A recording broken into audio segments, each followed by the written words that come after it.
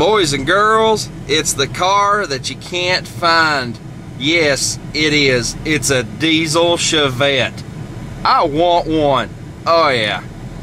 Yep. Interesting little car.